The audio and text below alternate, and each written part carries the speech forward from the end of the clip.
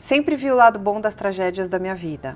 Quando perdi meu irmão, pensava no quão privilegiada eu fui por conviver com ele. Da mesma forma, encaro os desafios de ser mãe de uma criança especial e de outras duas que também precisam da minha atenção. Tenho ainda uma grande jornada pela frente. Você falou isso, né, Bela? Falei. Nossa, Mari, isso me pegou fundo agora, viu? É?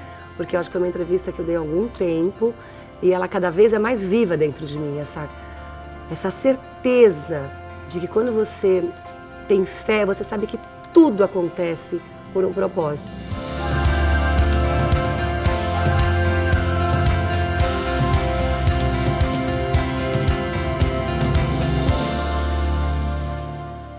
Queria te agradecer, é uma delícia estar aqui na tua casa de novo, falando de um assunto que eu adoro, que é a maternidade. Hoje a gente vai abordar algumas outras coisas. Eu sei que você está falando pela segunda vez com a gente, mas são muitos pedidos para fazer um episódio com você. Bom, no outro episódio que a gente gravou com você, a gente falou bastante sobre a sua gravidez e como foi estar grávida de trigêmeos. Eu queria retomar um pouquinho, até para quem não assistiu. Você sempre sonhou em ser mãe. Sempre. Aí você descobriu que estava grávida e no primeiro ultrassom descobriu que eram trigêmeos. Conta um pouquinho pra gente. Eu, às vezes eu penso assim, será que quando a gente pensa que a gente quer alguma coisa muito forte, a gente está pressentindo ou a gente está atraindo aquilo? Eu acho que talvez seja um pressentimento, porque desde muito nova, por volta de 12, 13 anos, eu já colocava almofada na minha barriga, eu usava os vestidos hippies da minha mãe e andava pela casa dizendo que estava grávida de gêmeos. Quando o médico falou, Bela, parabéns, você está grávida de gêmeos? Eu falei, ah, eu já sabia, né? Aquela coisa que eu já tinha tanta certeza. Aí ele falou, ai, não, era um pouquinho. Aí eu já pensei, eu falei, ai, não, o doutor só tem um. Aí ele falou, não, tem três. Foi aí que foi aquele choque, porque gravidez de gêmeos é lindo, é romântico, é maravilhoso, a gente sabe dos, dos riscos, mas uma gravidez de trigêmeos não tem nada de romântico. É sempre uma tensão muito grande, porque é uma gravidez de altíssimo risco. Mas eu sempre acreditei que tudo ia dar certo. Na vigésima sexta semana você começou a sentir contração. A ideia naquela época era segurar até a trigésima terceira. Isso. E aí, na vigésima sétima semana, você já não conseguiu mais. Eu tive contração, Mari, a gravidez inteira. Desde o comecinho eu tinha as contrações de Braxton Hicks. Que é aquela contração que toda grávida tem, que o corpo tá meio que treinando para o grande dia. Só que com 25, 26 semanas, eu comecei a ter muita falta de ar.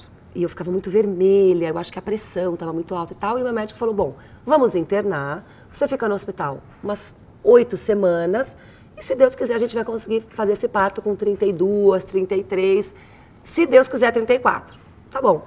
Fui para o hospital, fiquei uma semana internada.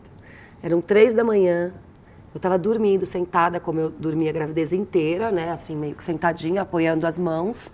Porque se eu deitasse, a barriga, ela pressionava tanto o meu pulmão que eu não conseguia respirar. Então, eu dormindo sentada, de repente eu senti um molhado na minha cama. O meu marido estava do meu lado, eu acordei e falei, Stefano, a bolsa estourou. E eu fiquei assim, desesperada. Tanto que eu perguntei para o meu médico, quando ele chegou no hospital, eu falei, doutor, será que a gente não consegue fazer o parto só da bolsa que estourou? Porque por mais que eu tivesse uma só placenta, cada criança tem o seu saco gestacional. E estourou a bolsa só do Bernardo, que era o que estava bem baixo, que estava fazendo muito peso. Mas existe Toma, isso? Existe. Não sabia. Existe. Existe. Até seria muito legal se você encontrasse alguma Nossa. mãe ou quem está assistindo que já passou por isso. Tirou um e o Faz o parto de um e segura o outro. Tá. Acontece, você pode segurar até umas duas, três semanas. É uma coisa linda. São gêmeos que nascem em, em dias diferentes. Mas no meu caso não dava por motivos, enfim, de infecção. Eu já estava no ambiente hospitalar. Enfim, meu médico resolveu fazer o parto dos três. E aí foi o que aconteceu. Os três nasceram muito pequenininhos. Eu nem vi. Eu lembro que eu tenho até o vídeo. Eu olhava para meu marido e perguntava: "E aí, amor, eles são lindos?" Ele respondia: "Eles são muito pequenininhos." O Nicolas nasceu com 800 gramas, foi para 700. Cabia na palma da mão, assim. E o Lô foi o que nasceu maior, com 1,200. E o Lô foi o que né? nasceu maior, com 1.200. Você teve sempre muito leite, né? Muito leite. O leite materno foi muito importante para evitar várias doenças. Porque depois que eu saí da UTI, eu fui descobrir que existem doenças muito características nos prematuros. Por exemplo, a enterocolite necrosante, que você Que já entrevistou. O nosso pequeno O guerreiro. tom. Então, assim, se a mãe tem esse leite, se ela pode amamentar, é um elixir dos deuses, porque na verdade o leite materno ele minimiza de uma forma estrondosa várias doenças bem características do prematuro. Bela, a gente falou do, do, nascimento, do parto, da gravidez. A partir de quando que o Lô começou a fazer os tratamentos e quais foram e quais são esses tratamentos que ajudam? Bom, o Lô e os, os outros dois, o Bernardo e o Nicolas, eles começaram as terapias já na UTI, porque prematuro precisa de terapia precisa de um estímulo precoce, porque nasceu antes do tempo, muitas coisas os prematuros ainda não sabem fazer, como sugar, mamar, enfim, fazer várias coisas que criança que nasce a termo já nasce sabendo. Então, quando saímos da UTI, o Bernardo e o Nicolas continuaram fazendo fisioterapia, mas logo foram liberados, e o Lorenzo continua até hoje. O Lorenzo eu falo que tem uma agenda de executivo. Ele faz, em média, três terapias por dia, além da escola. Uhum. E às vezes eu me pergunto, será que eu estou exagerando nesse estímulo para ele? Mas não, porque as terapias é, são brincadeiras, vamos dizer assim. Então, quando ele Sempre faz... você é orientada por um pediatra, por, por um time. É, são... na verdade, eu tenho um time enorme de fisioterapeuta, terapeuta ocupacional, fonoaudióloga, é, é, terapeuta na água, tem ecoterapia no cavalo, tem psicóloga. Nossa, gente, é tanta gente. Então, eu tenho toda essa equipe que a gente se reúne a cada seis meses para fazermos um balanço, assim, o que ele está tendo de ganho, o que está um pouco mais atrasado, para a gente começar Mexer. a ajustar as terapias, porque não é uma, uma ciência fechada, olha, você vai fazer tanto isso, tanto aquilo. É muito importante ter essa inteligência na hora de fazer as terapias. Uhum. Por isso que eu te falo, eu não acho que a gente está fazendo muito. Eu acho que a gente está fazendo por ele o máximo que eu poderia fazer por ele. E eu tenho certeza que ele está feliz, porque quando ele também acorda e fala: Mamãe, não quero ir na terapia, estou cansado, mas eu não penso um segundo, desmarco na hora. Bom, então temos Bernardo, Nicolas e Lorenzo os trigêmeos super sapecas que eu convivo. Tenho energia para dar e vender esses meninos. Você sabe muito bem. Um dia a gente foi viajar, a Maria ficou impressionada. Assim, como que você consegue? Não, é porque, não, porque assim, ela, eu vou falar um bastidor, vocês me acham super chata, que eu pego muito no pé da Vitória, que eu fico em cima. É porque é isso mesmo, é uma filha, uma menina. A Isabela tomando café da manhã plena, um ali, o outro ali, foi, o outro destruindo é a verdade. E assim, a energia não muda. Eu acho que é... você vai pegando, né? O, é, o eu ritmo, acho que assim, jeito. Criança é criança, a criança está aprendendo. Então, eu sou muito a favor de deixar a criança ser criança. É claro que tudo tem o seu limite e as crianças pedem esses limites. Às vezes você vê o teu filho implorando por limites. Eu tenho essa consciência, só que eu acho que a gente tem que ser assim, ser criança como ele, sabe? Às vezes você tá lá cansada, chegou, você quer paz, você não quer ninguém te falando, mas às vezes é o momento que teu filho vai te contar alguma coisa na uhum. escola e que se você fala, não, não, agora não, porque agora era de comer, agora era de jantar, você vai perder aquele momento. Então, cada vez mais eu estou mais consciente aos sinais que eles me dão para eu parar tudo que eu esteja fazendo e falar, tá bom, você quer falar comigo? Então vamos conversar? Eu pego só um. Porque outra coisa que acontece com mãe de múltiplos, tá todo mundo sempre junto, é tudo um bolo. Às vezes estão os três juntos, um começa a fazer uma zona. Não é que ele quer fazer zona, ele está te chamando, mãe. Ó, oh, eu preciso de você, entendeu? Então eu pego com amor, com carinho. Isso a minha mãe me ajuda muito. Eu saio de cena e fico só com ele. Isso eu tenho feito muito com os três, principalmente porque eles têm muitos ciúmes do Lorenzo. Porque o Lorenzo me demanda muito mais tempo. Sim. Ainda tem as sequelas da prematuridade, toda a parte motora dele é bem atrasada. Então, assim, o Lorenzo precisa de mim o tempo todo. Só que as crianças também, eles têm os mesmos seis anos do Lorenzo. Sim. Então eu preciso saber dividir isso. Por isso que eu falo que o dia do filho único é muito importante para quem tem filhos múltiplos ou de várias idades. A gente tem que ter esse momento com cada um. Hoje, os três, com seis anos, como é que a relação deles foi se construindo? Hoje, eu percebo que o Nicolas e o, e o Bernardo, por não terem nenhum atraso motor nem nada, eles fazem brincadeiras que eles se bastam. Então, jogar um futebol entre os dois e tal. Só que eu já percebi que muitas vezes eles, no meio do jogo de futebol, um deles vira e fala: Ah, Lourenço, vem jogar com a gente. Então, assim, eles sabem que não vai virar um jogo aquilo, né? Que não vai ser, né? Cada um vai fazer um gol, porque o Lô precisa de ajuda, ele está no andador. Mas eu sinto, assim, como eles estão estimulando o irmão e eles sabem que o irmão precisa daquele estímulo para se desenvolver.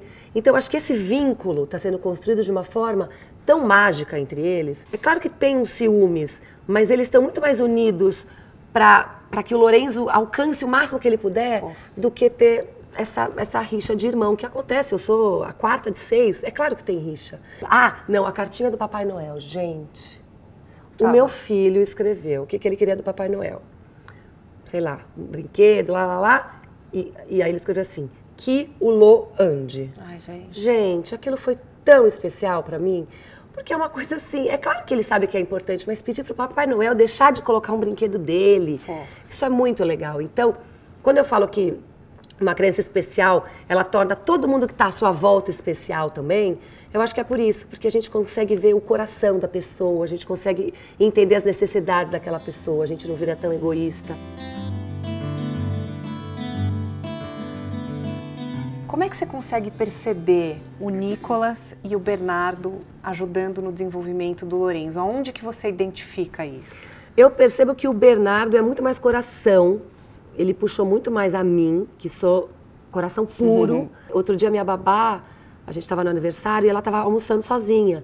O Bernardo chegou para minha mãe e falou: "Vovó, a Lili está almoçando sozinha. Vai lá ficar com ela?" Aí depois ele chega para mim: "Mamãe, você viu a vovó e a Lili estão lá sozinhas. Você não quer ficar lá com ela?" Aí eu fui. Aí ele chega para minha irmã: "Olha, ele começou a juntar, porque ele viu que uma pessoa estava sozinha." Então, isso para o Lorenzo é muito importante. Agora, o Nicolas, ele já é aquele irmão que ele, ele gosta de fazer piada. Então, ele pega o Lorenzo, ele instiga o Lorenzo a fazer piada com os outros. Então, ele fala, Lô, você viu que a mamãe não sei o quê? Ah, fala no seu...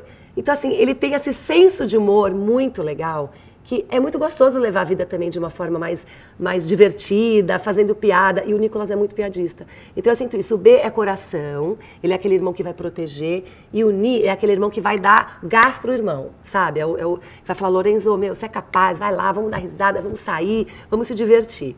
Sabe assim? Então eu sinto muito essa diferença nos dois. Você pensa em ter mais filhos? Vai se concretizar isso?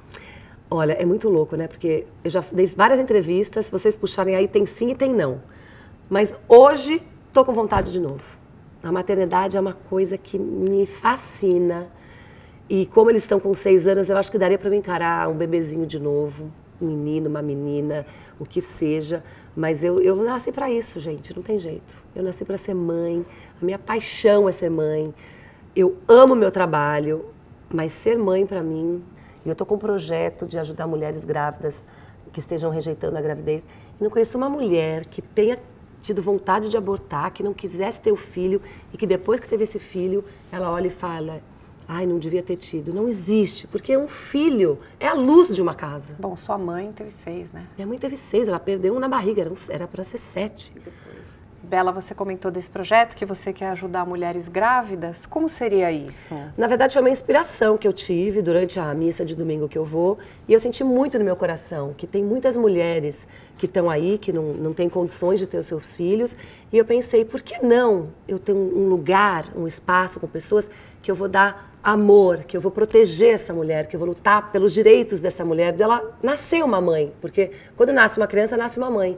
Então, me veio muito forte isso de ter um lugar onde eu possa dar apoio material, apoio psicológico, eh, que eu possa dar um apoio também para as mulheres poderem trabalhar depois, então cursos profissionalizantes.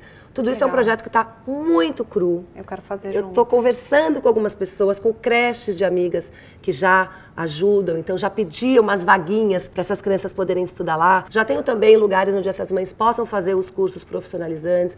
Então acho que assim, a mulher, ela tem que se ajudar, ela tem que tem que estar do lado da outra mulher, dando o ombro, dando amor. A Isabela está fazendo um projeto também que você já está um ano ajudando, né? Que é o I Know My Rights. São as crianças refugiadas sírias, que é um assunto muito, muito sério. Que a gente infelizmente não vê o assunto tão em pauta no governo. Assunto, é um assunto mundial. É, o mundo está fechando os olhos para o que está acontecendo na Síria, né? E essa ONG I Know My Rights, ela tem como presidente a Vivi, e a Vivi, ela luta é, pelos direitos das crianças refugiadas, não só sírias, mas de mais de 15 países. E ela tem essa ONG que ajuda essas crianças aqui no Brasil. Então, o que a gente quer é realmente conseguir trazer mais crianças que estão em zona de guerra, que estão em zona de conflito, trazer com algum familiar, ou enfim, até mesmo com as suas famílias inteiras, e trazer para o Brasil.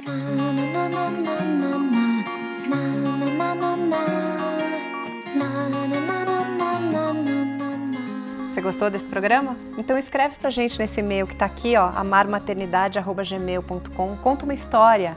Vai lá no YouTube, comenta, dá like, curte, compartilha. Na próxima quarta, às 20 horas, a gente está te esperando com mais um episódio inédito do Amar. E ah, a gente está em todas as redes sociais. Clica lá e comenta. Eu tô te esperando. Beijo!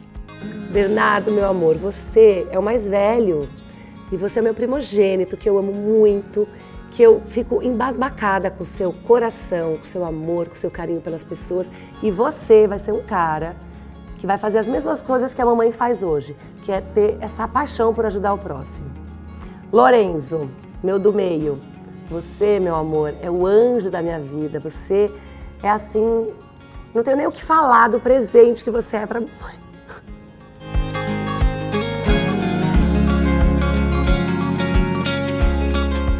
Primeiro que você é a luz da nossa família. Você é uma luz para seus irmãos, você é um grande exemplo para todos nós. E você faz com que todos nós sejamos especiais também como você. Nico, Nicolino, meu caçulinha, você é muito esperto, você é muito inteligente.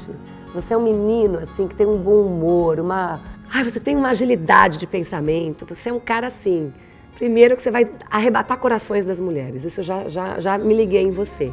E você cuida muito da mamãe, você é um menino que me toda hora me coloca para cima. Você é demais, meu amor.